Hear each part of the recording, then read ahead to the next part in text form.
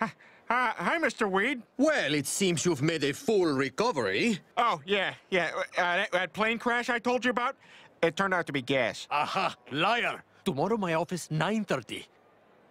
I'm tired